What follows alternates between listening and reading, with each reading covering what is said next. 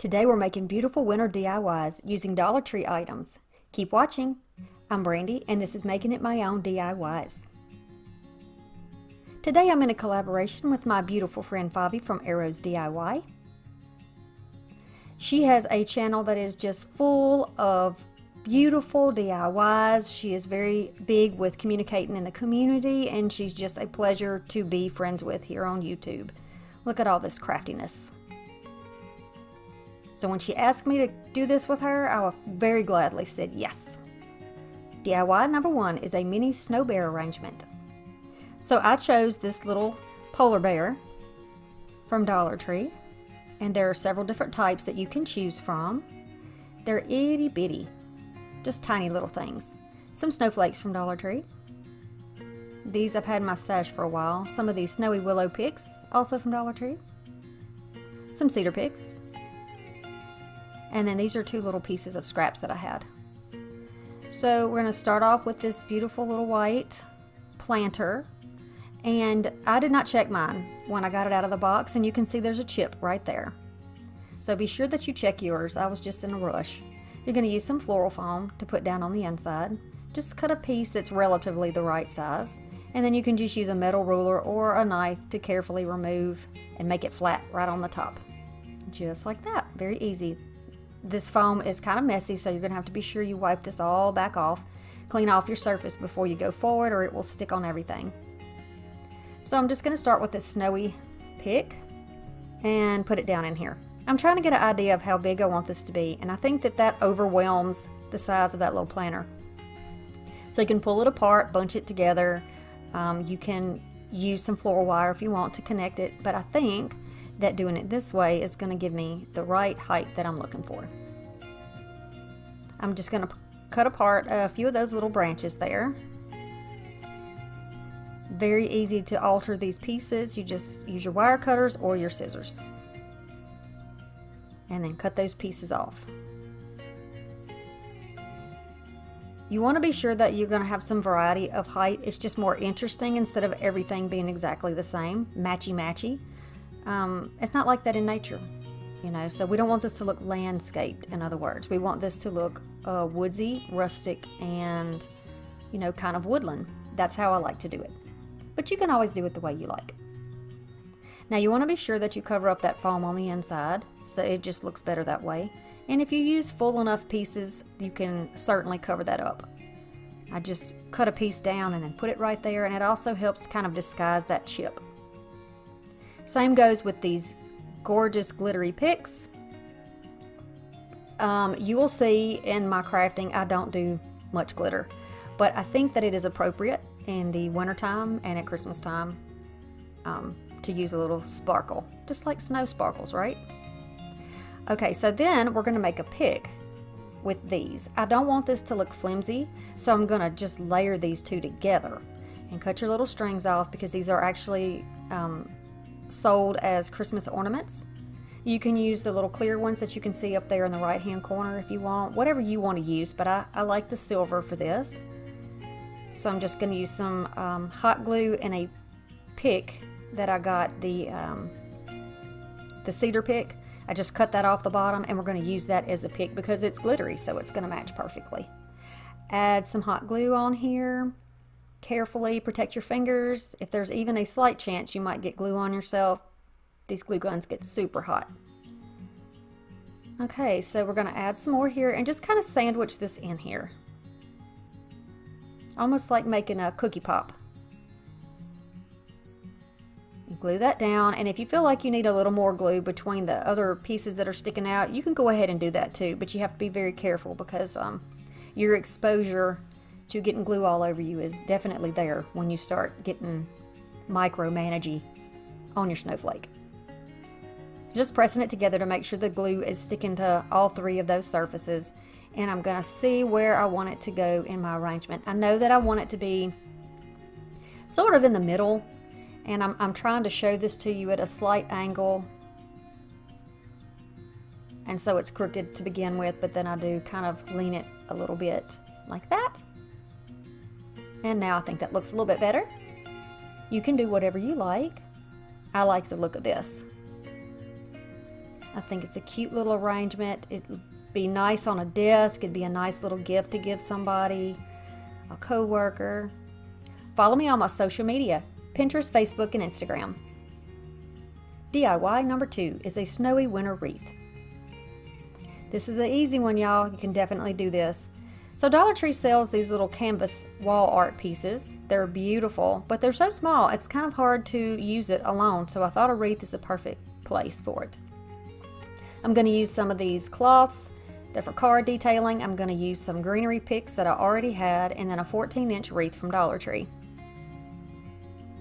I'm going to take these cloths, pull them apart. They have little, um, you know, little plastic things in them. So you just pop those out, lay it flat, and then go ahead and start cutting some strips. I cut mine in each one of them in four pieces. And I'm just going to begin to wrap this around this wreath. This is super easy. I'm not wearing my finger protectors, and I know I sound like a broken record, but please be careful. Okay. Now, I'm just going to start wrapping this around here. I'm just going to make sure that it is overlapped slightly onto itself so that there's no space and that it's a little more quilted. It's a little bit thicker if you do it that way instead of stretching it out as far as you can go. So just put a little hot glue there, pat that down, and then wherever you need to trim, go ahead and trim it off or fold it under because you don't want, this is the back of the wreath here, you don't want all those end pieces to show in the front. You want it to look finished and smooth. You don't want ends and seams on the front of your creations. So you can see so far how that's going to look. Go ahead and go to the back and overlap for your next piece. And you just twist it around just like we did before and you're going to continue to go around just like that all the way around your wreath. Wrapping it gluing it putting finished edges under inside and to the back. So now we're back on the back side and we're finishing up I'm just pulling that pressing it down and then I'll take that little flap cut it off and then make sure that it is nicely finished on the back so now we're going to start on putting this little canvas sign on our wreath. Going to cut this off, just a little bit of floral wire, and it looks like I'm running low there. Note to self, buy more floral wire. Cut that off, and then we're going to glue these on either of these little short sides. Just add some hot glue, if you prefer to use some type of a tape, you can do that, but I get kind of rough when I am tightening things down and I'm not sure that anything else would work, except maybe a staple. That would probably be actually the best thing. Okay, so while that is cooling, I'm going to go ahead and go over to my pick. Now there's a variety of different types of things on here, so I'm just going to cut off the three different kinds that I like. There'll be three different types of greenery, in other words, on the swag part which is going to be the top of our wreath. So you can use three picks of whatever type that you like from Dollar Tree if you don't have thrifted pieces or leftovers. So we're just going to turn them stems toward each other. Same thing with the other one. And it's pretty much the same thing on either side. Then take a zip tie and tighten it, but not all the way down. Leave a little space in there so that you can add more and you can take things out if you're not sure of them. I'm going to add this little piece of, I think this is cedar on the top. And then I'm just going to tighten it down. You can pull that to the back so that you don't see that little knob sticking up and just trim it off. It will be covered up, so don't worry about that. All right, so now you can just use a another one of those zip ties and cinch that on whatever part of the wreath that you want to be your top. It's a circle, so there's really no top or bottom. You get to decide where your pretty spots are. Maybe if you made a mistake or there's a little gap, maybe that's where you want to put your swag. So it's going to cover up your mistake. Right, and I'm just going to pull this out a little bit and fluff it up a little bit. And I like the variety of glitter, and there's some larger, chunkier pieces of glitter in there, and also some snowy branches. I think that looks good. I couldn't find the perfect green to match what's in the sign. It's more of a bluish green, but I think we get the point. You can use whatever you have. Now I'm just going to push those wires through that fabric and wrap it around and close it. Try to make sure that you have it around one of the wires on the inside of the wreath so that everything stays snugly in place. Now go ahead and trim these off so it's nice and neat. And now we're going to start with the bow. So I've got some of this ribbon that I already had and then this is some that was thrifted. I'm going to take my little bow making tool that I made and I do have a link for that uh, if you're interested in trying to make your own. It's very easy. I'm going to fold this wired ribbon in half and then press it right down in here. I'm going to leave my tails about 8 inches long. Then I'll just be flipping that ribbon over. Since both sides of this ribbon are exactly the same, there's no need to twist it in the middle. But I'll show you what to do when we get to the one that's got a good side and a not so good side. And we're making these loops about probably five inches long, I think is what I have. I don't have my glasses on right now, but I think they're about four or five inches. And then the tails are eight inches. So I'm just gonna do one tail to the top, one tail to the bottom, and then cut that off. At this point, if you want to dovetail, you can go ahead and dovetail, but I am gonna continue with this bow. So I'm gonna take the snowy bow here. It's iridescent, just absolutely gorgeous. It is also wired in the same uh, thickness as the other one, though it doesn't matter. Now you're going to twist in the middle. So now my white side is going to be on the inside and my iridescent side will be up top. Press it down and make my loop. I want this one to be a little bit smaller than the white one. I'm going to press it down, give it a twist so that the white or the undecorated side is in the middle and then the iridescent side is up again. And that's how you do it. Same thing with the tails here, 8 inches on each side. Now, you can go to Amazon and you can buy a bow, the, the bow maker tool. I'm not exactly sure the exact name of what it is. I'm not suggesting that you have to buy anything. If you are not able to buy anything, then you might want to try doing something like this. And you can certainly make your bows by hand and you don't have to use a bow maker. I just want to give you options. So we're going to put a zip tie underneath and slide that up, holding on to the center. I'm going to slip my zip tie over into the middle, since it was off to the side just a little, slipping it into the middle. And that keeps all the loops of our bows the same size.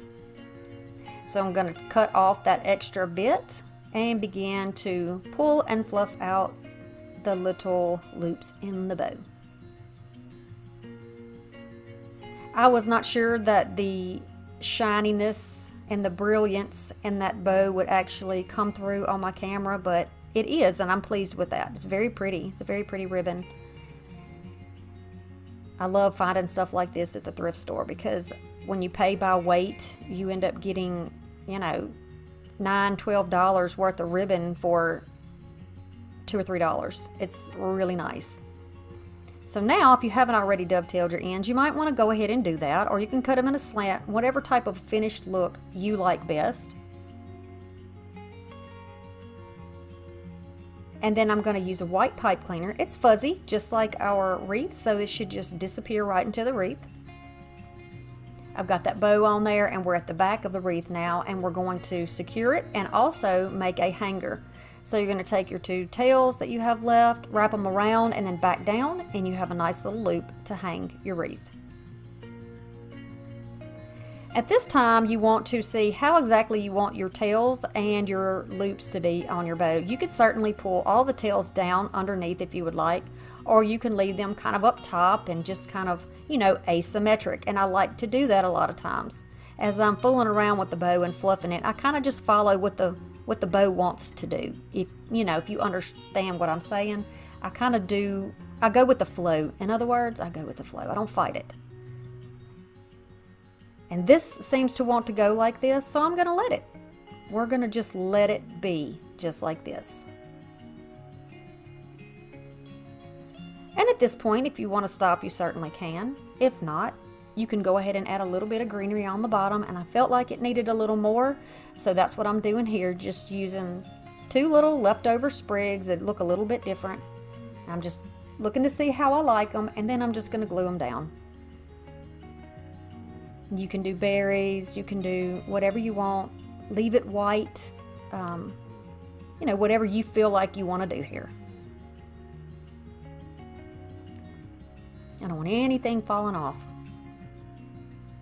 Okay, so now I'm just picking it up, looking at it from all angles because you know that's what we do on this channel. We pick it up, we look at it from all sides. Isn't that a beautiful little canvas? It's so pretty. Okay. So now I feel like there's a hole above the bow and I feel like I want to fill that in. So that's easy enough to do. You're just going to add some glue, uh, add another glue stick so that you can add glue. I was running low. And then just go ahead and cut down a piece that you like and just put it right in the top.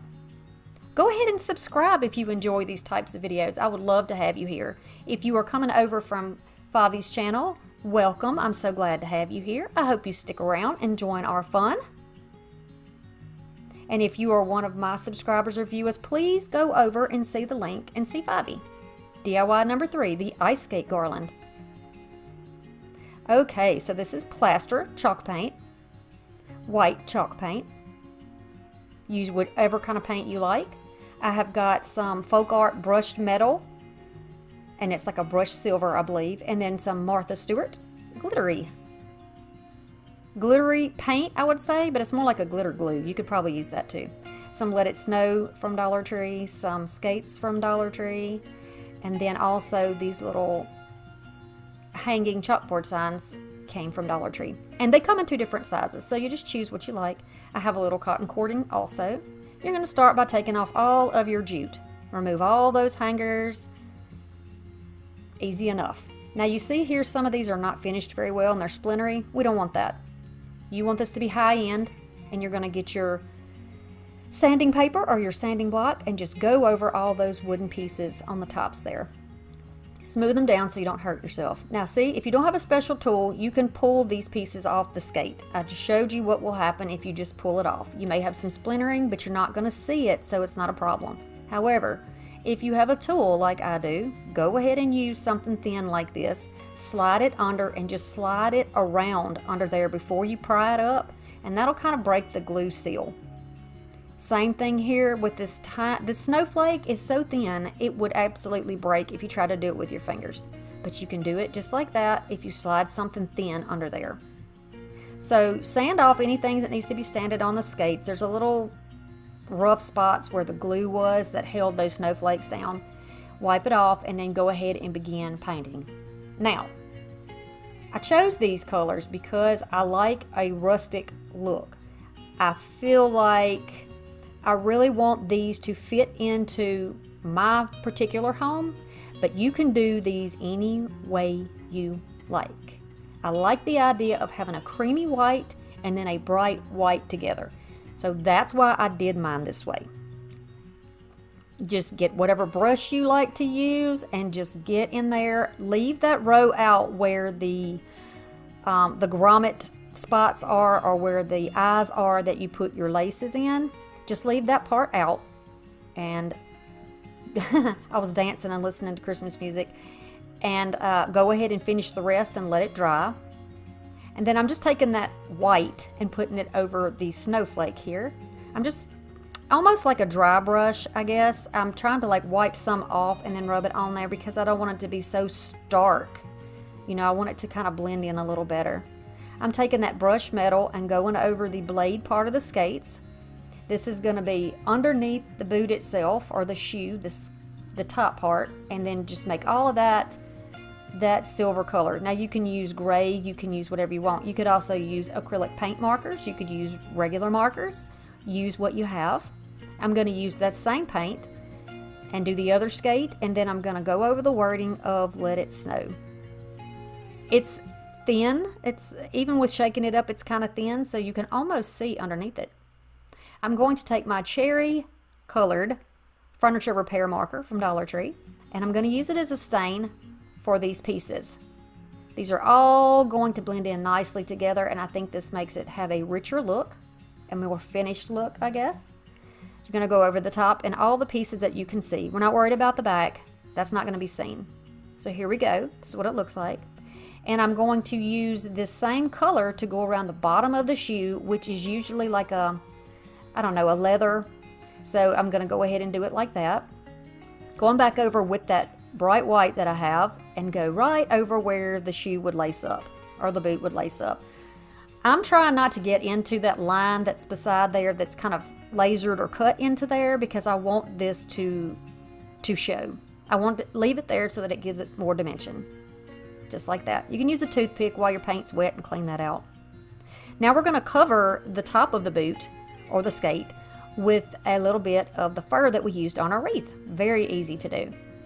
So you're just going to lay it there and trim it down. Nothing precise here. Got to have that coffee while you're working, right? Put some hot glue on there. And you could probably use a spray adhesive also for this. I just have my hot glue handy and I like to use it because it's there. And same thing on the other one. And this is going to give a little furry top. And I like the way it looks. I think it looks cozy. Okay, so once that is flat, we're going to, and I'm making sure that it's nice and dry here and cool. Just kind of looking at it to make sure that when I fold it over, I don't have a lot of bulk in the middle and that it just kind of meets itself. And it does. So pretty good for eyeballing, right?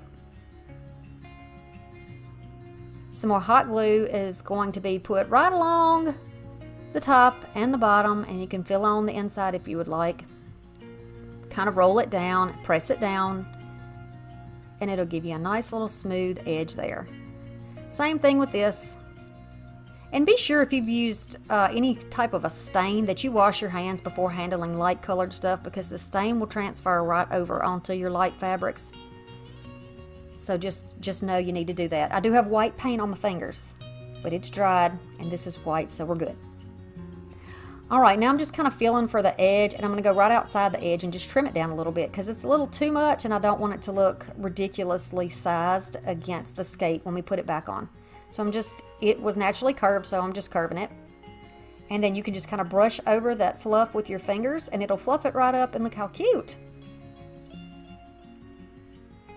Okay, so I'm gonna take some of that glittery paint and I'm going to just kind of, if you brush it, it's going to be very barely noticeable. So I did actually change the technique when I started doing these snowflakes and just kind of dabbed it up and down and brushed it back and forth. It seemed to lay more paint on that way. You can see here I'm dabbing it and more of the glitter actually shows. It's very slight. Okay, so once these are dry, I'm going to go back in with a silver acrylic pen and I'm gonna go back over those circles where you would lace up the skate. Skate, boot, shoe, I have said all kinds of footwear. It's actually a skate. Let it dry so you don't smear anything on both of them and look how pretty that looks. It's pretty. Now we get to put our little fuzzy top back on. It does curve downward, so be sure that you put it back on correctly. Just like that and that oh my goodness I love this. I love this. Little bit of hot glue and you can put that fuzzy little piece right back on there.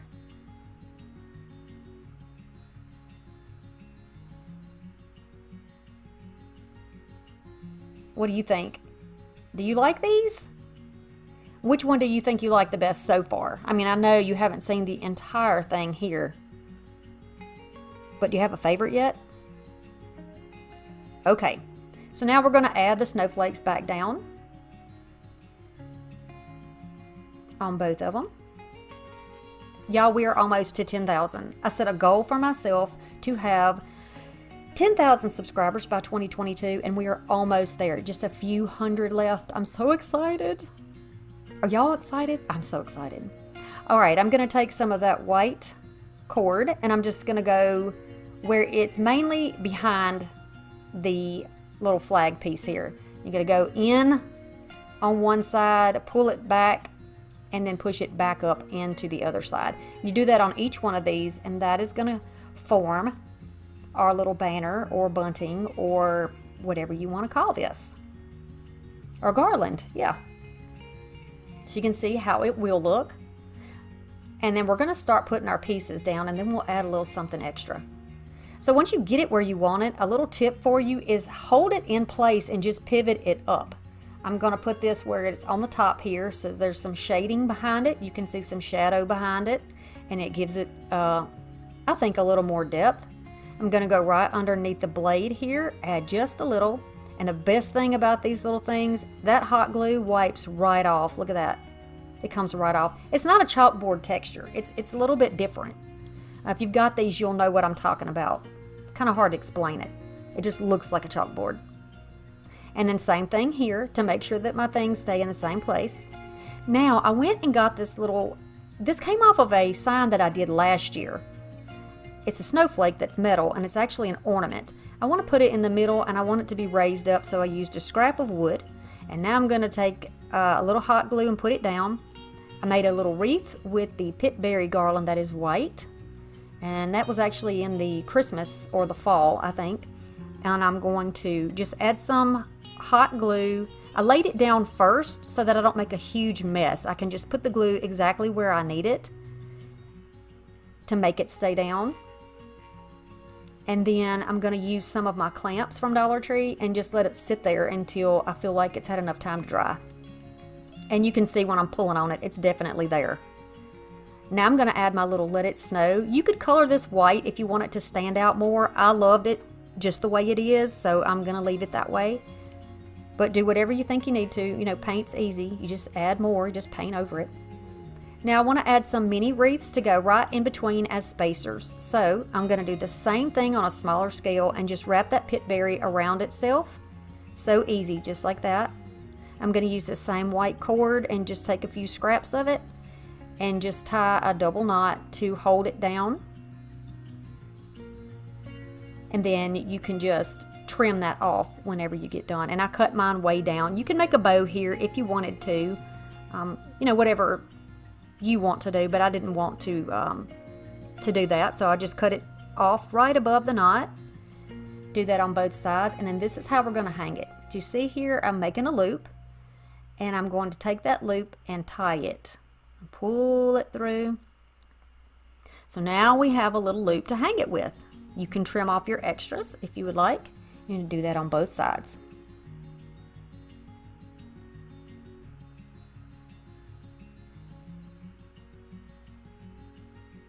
Just like that.